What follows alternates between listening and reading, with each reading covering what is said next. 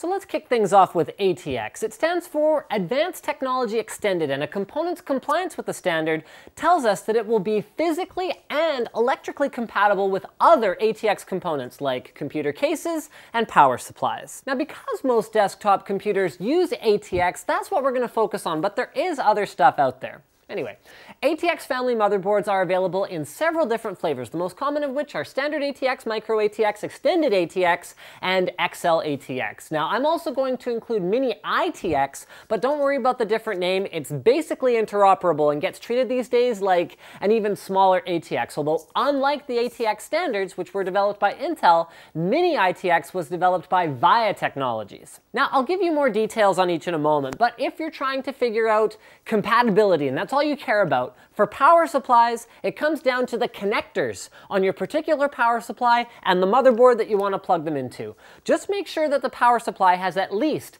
as many 24-pin, 8-pin, and 4-pin connectors as you need. For cases, on the other hand, any case that accepts a motherboard equal to or larger than the motherboard that you're looking at will work. So for example, a mini ITX board will work in a case designed for any of the standards here because they'll all be bigger than that. Whereas an ATX board will not fit in a case designed for MATX or mini ITX boards, but will work for the larger cases. The exception here is XLATX. Check specifically for XLATX compatibility before buying a case for your XL ATX motherboard. So ATX. ATX motherboards have a wide range of costs, but tend to be more expensive than MATX and less than eATX. They are 305 millimeters tall and 244 millimeters wide. They have seven expansion slots, allowing for up to seven single slot expansion cards or up to four dual slot expansion cards if installed in a case that has at least eight rear expansion card openings. And that makes ATX the minimum motherboard size to accommodate a three-way or four-way graphics card configuration with modern cards. ATX motherboards typically feature a 24-pin and an 8-pin power connector combination, but performance-oriented boards may have an extra CPU power connector or an auxiliary connector for configurations with lots of graphics cards.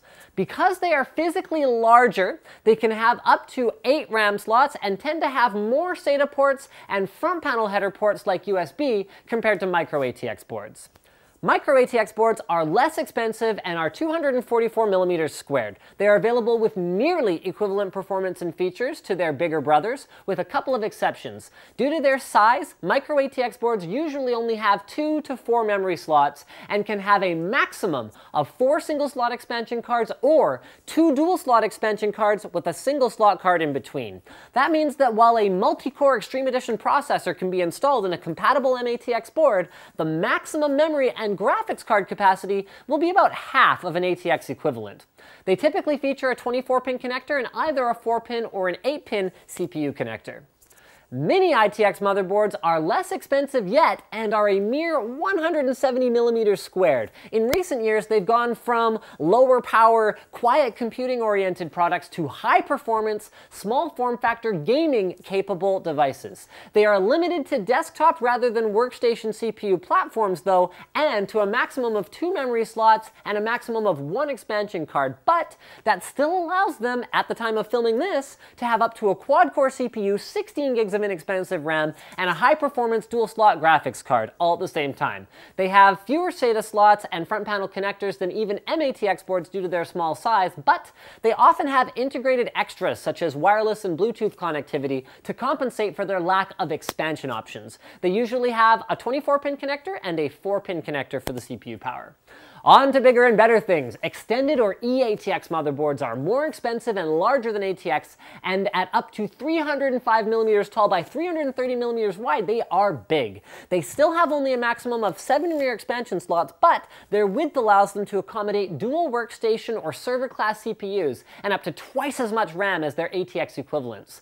Now, because they are geared towards professional or server use, they tend to have fewer bells and whistles like uh, better rear I.O. and wireless wireless connectivity, but more robust connectivity internally with things like SAS ports replacing SATA ports that are more common on the desktop. They need a 24-pin connector and will usually have two 8-pins as well, sometimes more. XL-ATX motherboards are a bit of an oddity. They don't even have a standard size, but they're usually 244 millimeters wide, and the size increase actually comes in the form of additional height. It's right in the name, but it's more like an extra large ATX motherboard than anything else. Pricing-wise, they are similar to premium ATX boards, and when it comes to performance, they have the same CPU and RAM and rear slot configurations as ATX boards which is weird. Their extra height should allow them to have 8 or 9 expansion slots, but board manufacturers typically have used the extra space to give more room for large beefy power delivery systems and cooling around the CPU socket rather than to add more expansion card slots. What a weird standard. The one good thing that did come out of it, I think, was that cases are now being delivered to market with more than 7 slots at the back for better ventilation with multi-way graphics card configurations on even standard ATX boards. I mean, honestly, it's amazing to me me that XL-ATX even still exists.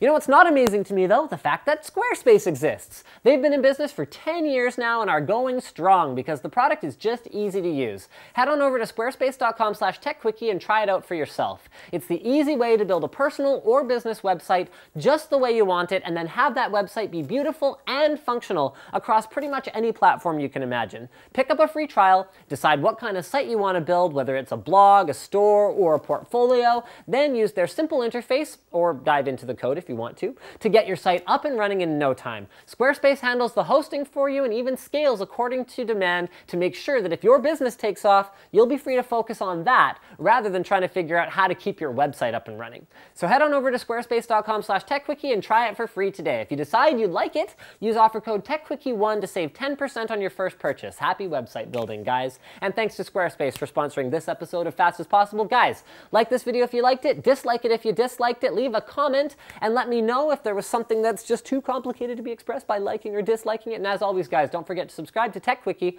for more fast as possible videos just like this one.